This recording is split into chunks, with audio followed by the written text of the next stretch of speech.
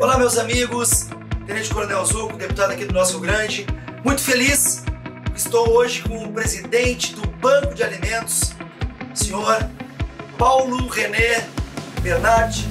E a gente está aqui falando sobre uma pauta muito bacana, que é a arrecadação de alimentos.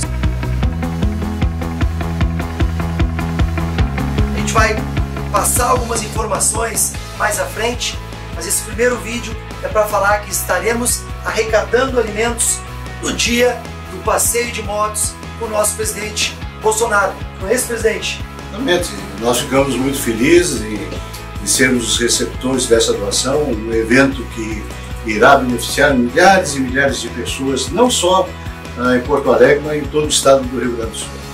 Será um quilo de alimento não perecível. A gente vai falando para vocês. Grande abraço!